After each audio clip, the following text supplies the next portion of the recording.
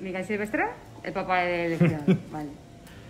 Entonces es una reconstrucción del cuadro de Carlos IV, Sí. de Goya, de 1800, en lo que es la, la sede de, de Junta, en el cual aparece el nuevo presidente con otro trato, con otros, con otros puntos de mira sobre el, antesor, sobre el antecedor.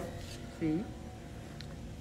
Aparecen las vicepresidentas, secretaria de ellos, las, las válidas y el válido.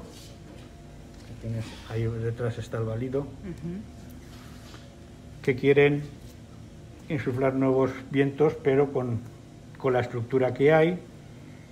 La nueva vicepresidenta y secretaria con arropando al, al niño, que representa el reglamento de Junta Central Fallera, que no hay nadie que le dé de comer, con lo cual el niño no, no sale, está ahí paradito.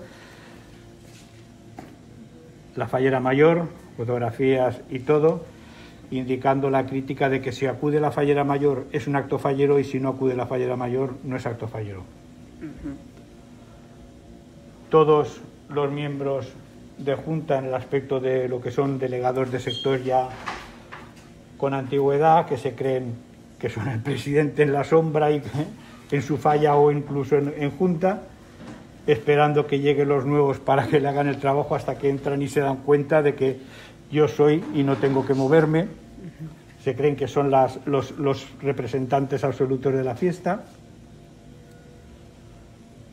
que nada más que están con el móvil acechando para mandar lo que es la noticia, ser el primero, yo soy el que da la noticia, yo soy el que tengo la medallita, lo haga bien o lo haga mal, se equivoque o acierte Acaparar protagonismo.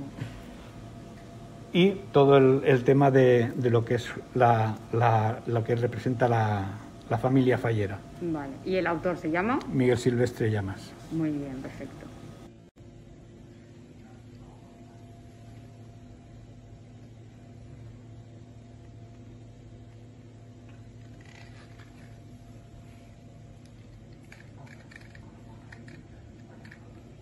Sí, por eso cuando llevo gafas.